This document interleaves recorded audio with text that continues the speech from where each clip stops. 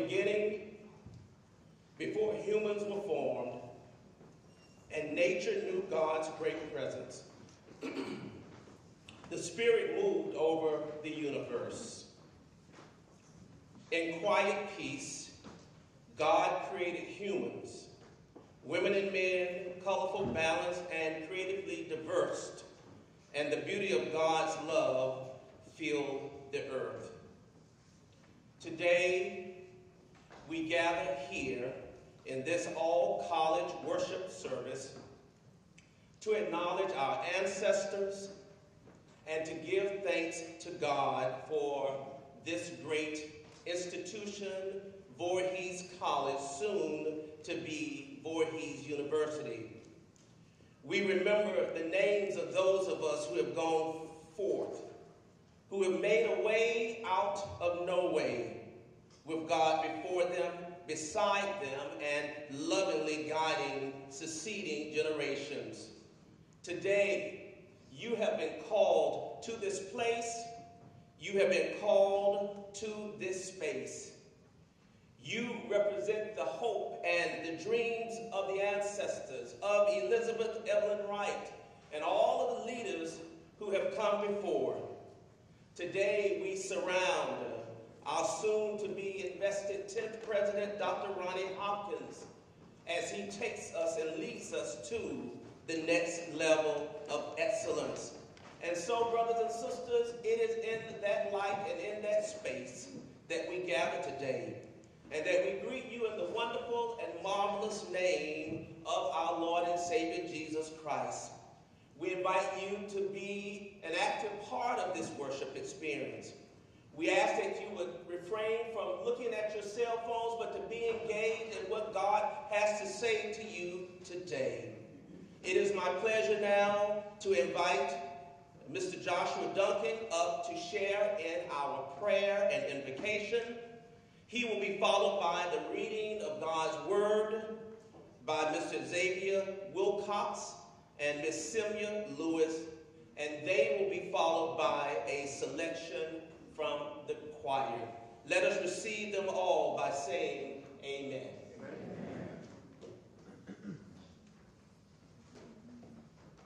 Good morning. Good morning. Let us pray. Dear Heavenly Father, we thank you for your grace and your mercy. Keep us in your pathway, O Lord. Help us never to think we can do this life without you. We ask that you give Father Jackson a spiritual insight to point to us what we need to become even better scholars. In the mighty name of Jesus that I do pray. Amen.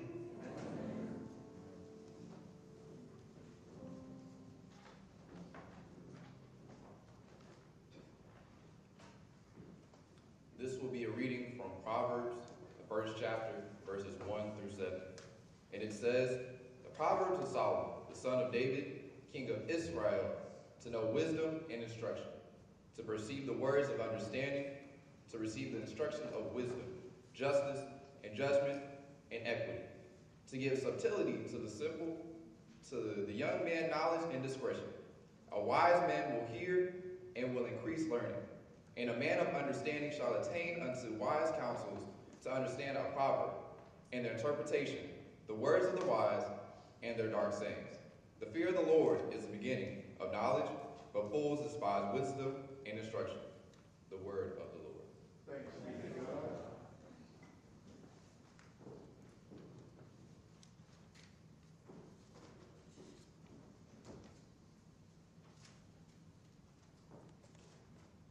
Good morning. Good morning.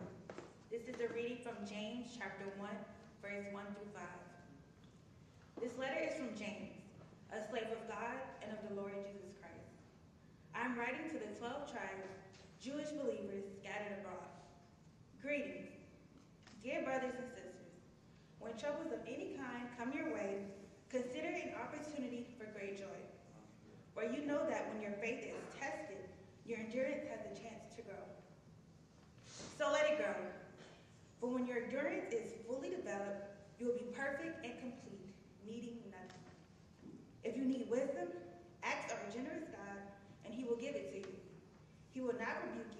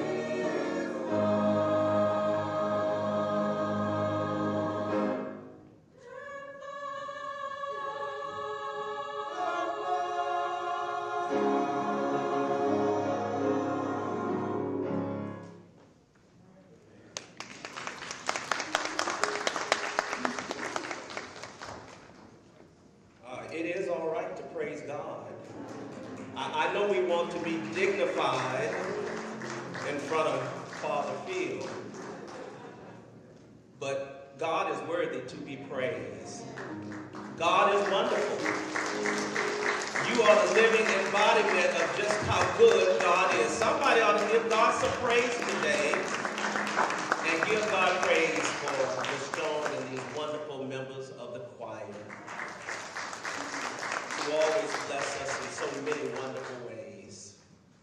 I guess you'll shout later on. It's okay.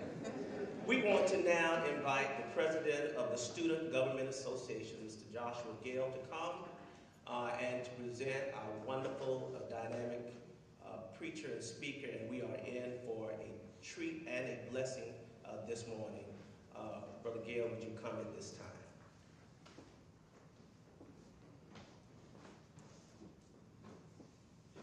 Good morning, everyone. I will be introducing the speaker, Reverend Canon Philip A. Jackson. The Reverend Canon Philip A. Jackson was named the 19th Rector of Trinity Church, Wall Street in February 2022. Prior to his institution as rector, Reverend Jackson served as priest in charge for two years, performing all duties of a rector, including acting as the spiritual leader of the parish and managing operations, parish programs, the clergy, staff, and all resources and facilities of the church. Reverend Canon Jackson was installed as canon of St. James, St. George's Cathedral, Jerusalem in March 2022. Canon Jackson joined Trinity in 2015 as vicar, leading ministry programs that touch upon every aspect of parish life, including lit- liturgies, music, education programming, membership, and stewardship. Before coming to Trinity, Canon Jackson was the rector of Christ Church the Ascension in Paradise Valley, Arizona. Ordained in 1994, he also served parishes in Houston and Detroit and was an attorney in Honolulu. Canon Jackson holds a bachelor's degree in history from Amherst College, where he currently sits on the board of trustees. He also was awarded a Juris Doctorate from Yale Law School and a Master of Divinity from the Church Divinity School of the Pacific. Canon Jackson is married to Paige Underwood, an attorney.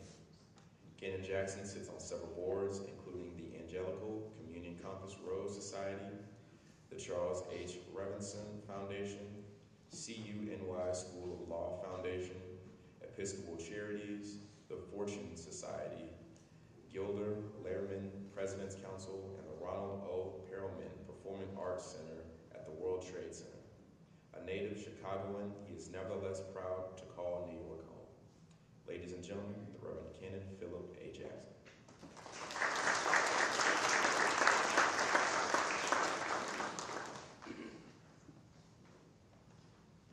Morning, everyone. Thank you, Joshua. Appreciate it. Thank you, uh, Dr. Mayfield, for having me here. I appreciate that as well. Thank you all for coming. It was beautiful. Sometimes I hear my, uh, I hear my biography read, and I think, who is that guy? I can't even, I can't believe that uh, I've been through all that especially because uh, my very first parish was in Houston, Texas, as Joshua just read. And uh, the church was about half the size of this building. And our average Sunday attendance when I got there in June of 1994 was 14 on a Sunday. And that represented three families. And one of the families was the McBride family. Mr. McBride used to sit right in the front row where Joshua is right now, every Sunday, about this far from me. And I was just out of seminary. And when you're out of seminary, just right and fresh, you got all this learning. And you want to get it out there. You've been learning for three years, and it's time to let it go. So I get up there and I preach, and preach, and preach. 40 minutes. 45 minutes. Every idea I had to get out and get to the people. It was imperative that they get this. And every Sunday, Mr. McBride would sit right there and go like this after about 10, 15 minutes. It was the best training a preacher could have because he was my watch clock. And when Mr. McBride went out, look at my wife and she'd be mouthing, I learned to keep it short, okay? I learned to keep it short. So I'm gonna just say a few words today, um, and, and then, uh, and then I, I, first let me just say also, that music, that's, that, thank you, thank you. I was told by two of your choir members who I had breakfast with to butter you up a little bit so that you go easy on them at five o'clock. I said, right. I, yeah, I told her. I told her, you know who you are. so, no, that was beautiful. That was so.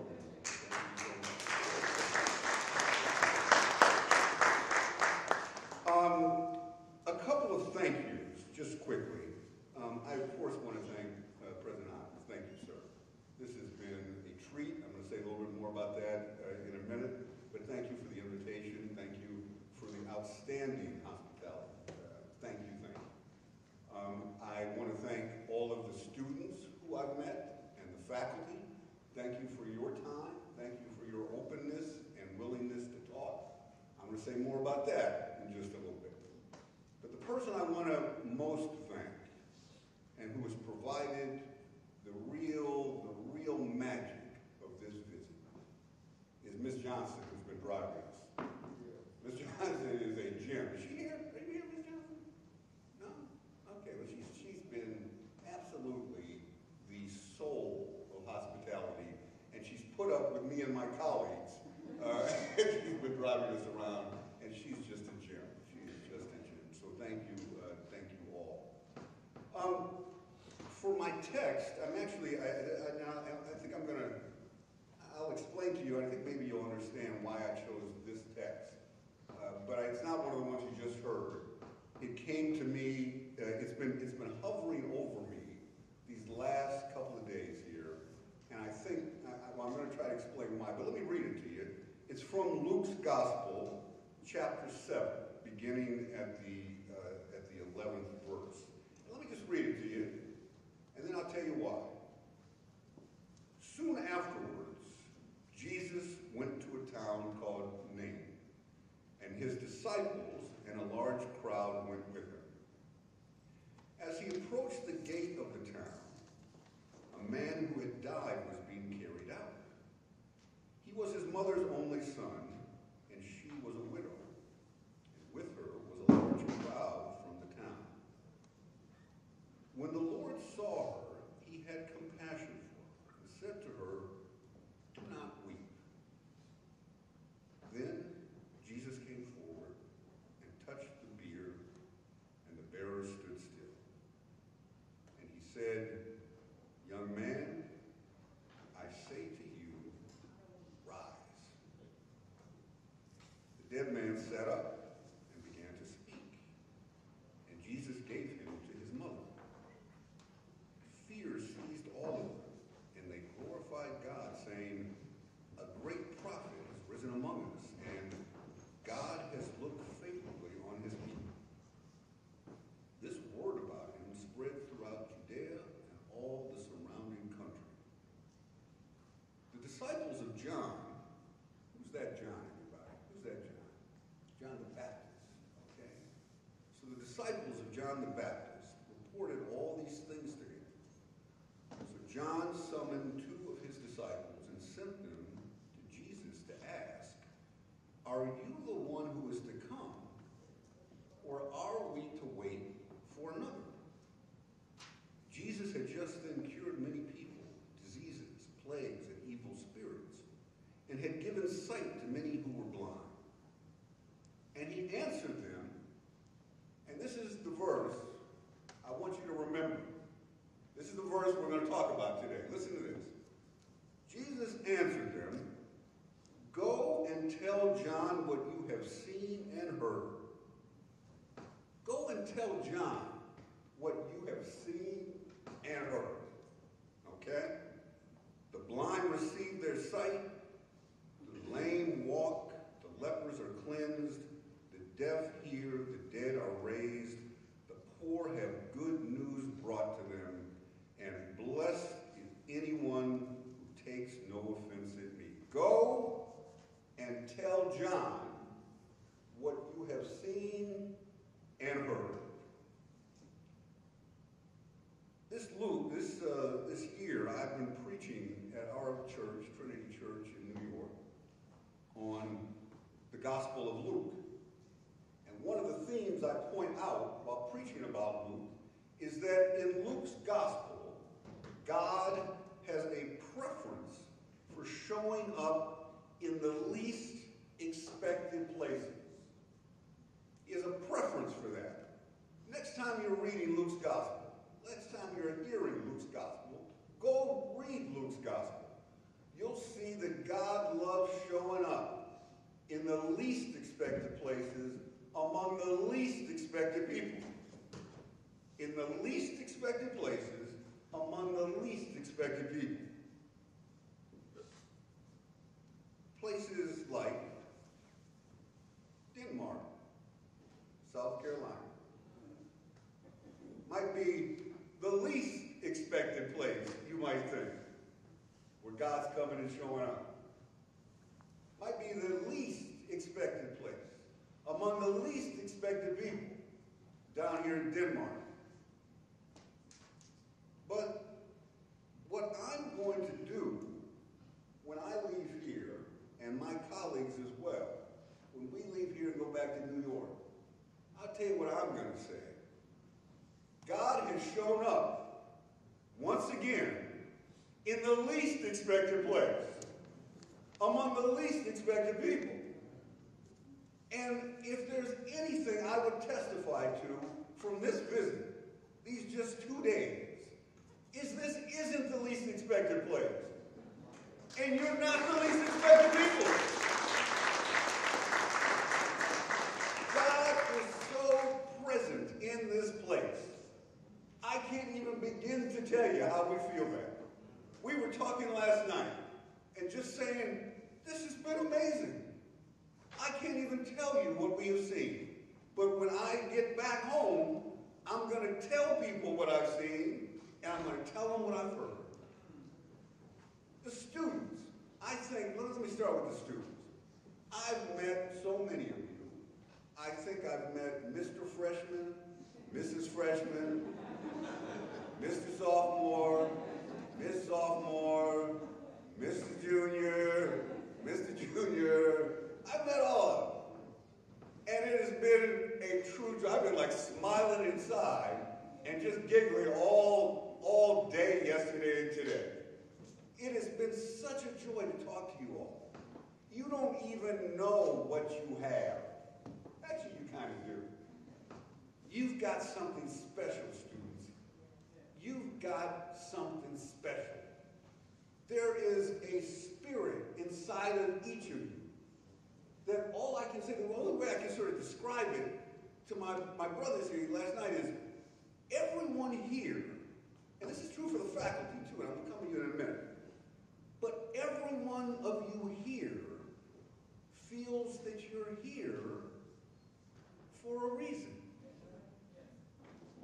No one I've met of any of you feels like you just stumbled into this or, oh, okay.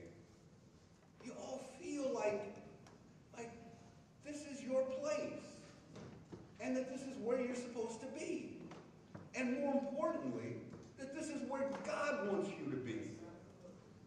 And you all feel that and communicate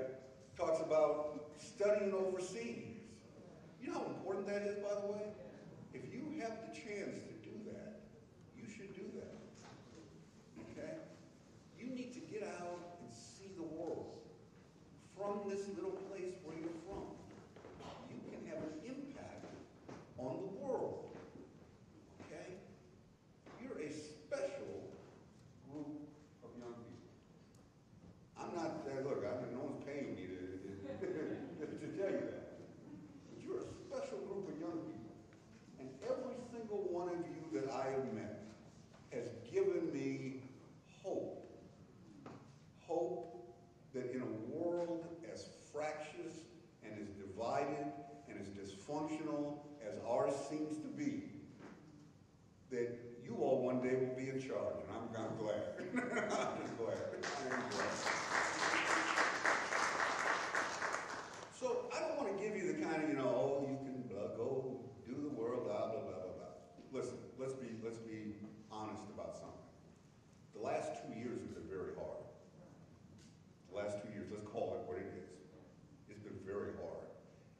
generation.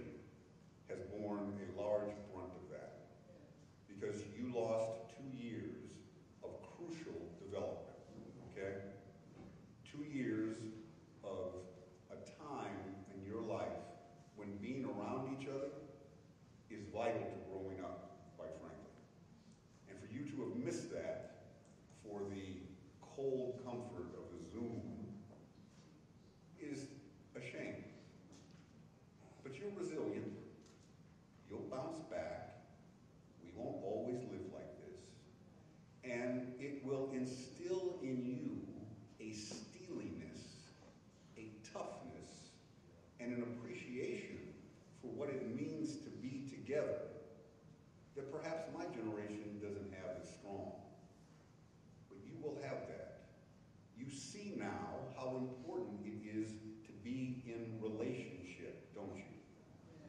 To be together. You will grow up never taking for granted that we need one another. You may not know that now, as you like get sick of each other and da da da.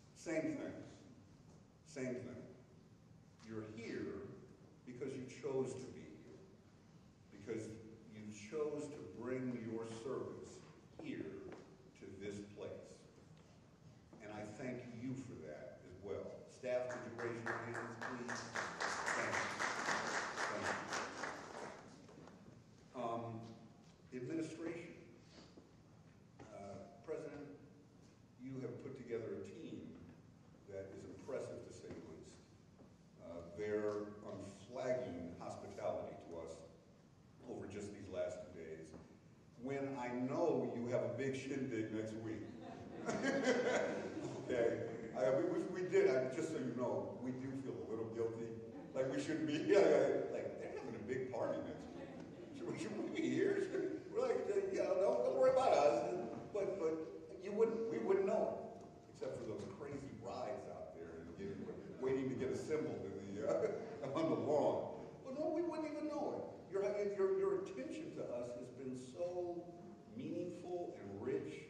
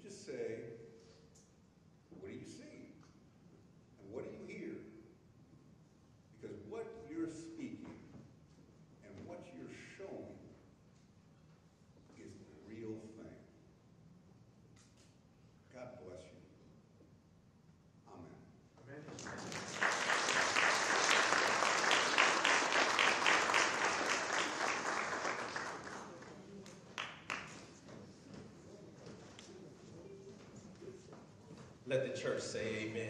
amen. Would you join me in giving uh, Rector uh, Phil Jackson another hand clap of praise? And we thank God for what he has recognized and confirmed and poured into us uh, today. At this time, uh, it is my honor to present our president in 125 years, Voorhees has had only 10 individuals who we can call president. Two of them are in this room. We're delighted to see the eighth president, Dr. Cleveland Sellers. Would you please stand? And that we might recognize him. And so, brothers and sisters, when we present our president, we rise out of respect for the office and the burdens that he carries. But we rise as a symbol to lift him up as he takes Voorhees to new levels of excellence. So would you please rise and receive the 10th President of Voorhees College, soon to be Voorhees University, President Dr.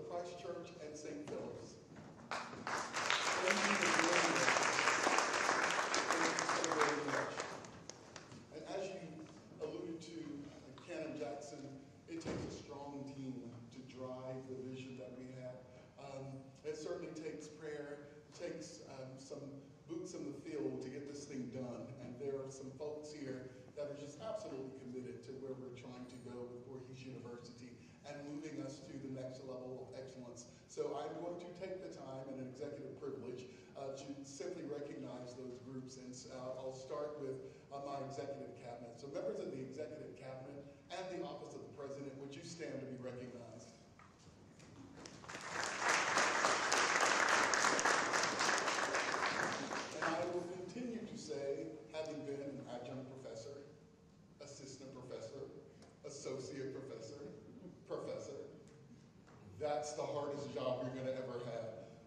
faculty, would you please stand? Faculty members, would you please stand and be?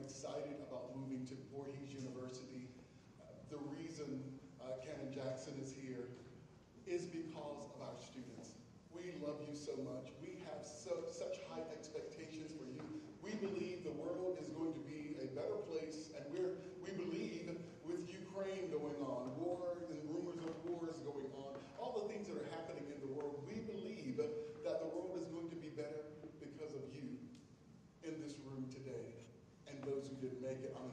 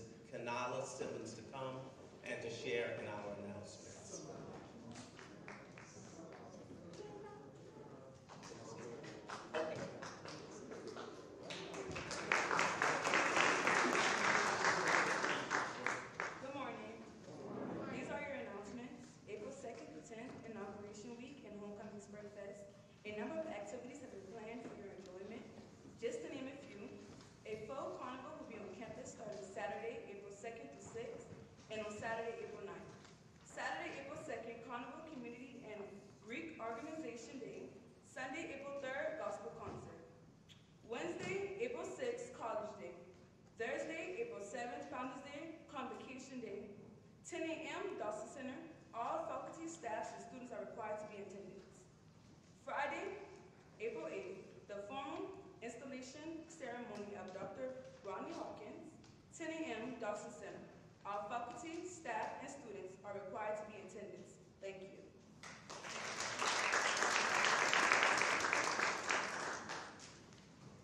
Would you all please stand as we share in unison reading of the Apostle Creed, which is found printed uh, in your order of worship.